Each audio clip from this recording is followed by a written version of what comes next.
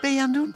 Eh, aan het luisteren en schrijven welk liedje het is. We hebben het carillonproject voor de groepen 5 6. Om de kinderen kennis te laten maken met dit beeldschone instrument in uh, Baar. En wordt het al voorbereid op school misschien?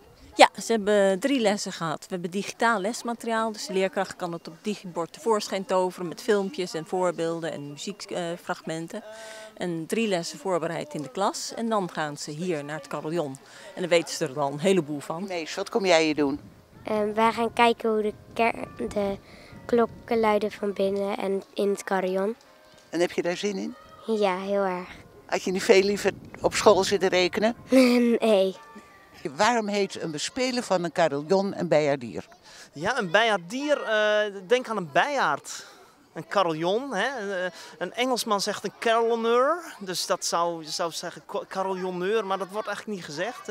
Hè? We hebben namelijk het woord carillon, we hebben ook het woord bijaard. En een bijaard wordt bespeeld door een bijaardier.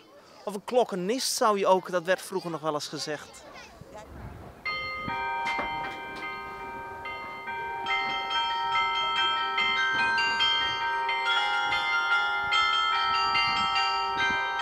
Oh god.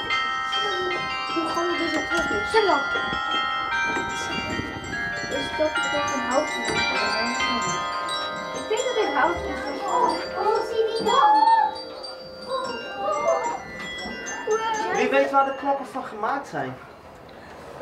Ja, brons. Ja. En ja, aan de binnenkant. Ja, jullie hebben het goed eh, begrepen allemaal. Dat is, ja, dat wordt best wel een strakke toon. Hè? Dat betekent dat het gestemd is. Hoe vond je het? Leuk. Ja? Uh, het, vond, het zag er heel cool uit. Het was echt heel erg mooi.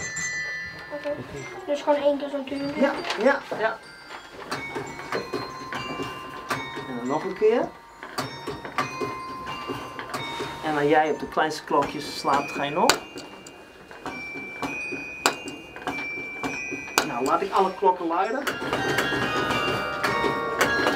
En dan bim bam bom op de grootste klokken. Rechts, links, Dus dat zijn de... Ja, en dan precies andersom. Hoor je dat? En dan ging het bom bim bam. maar het liedje is bim bam bom. Rechts.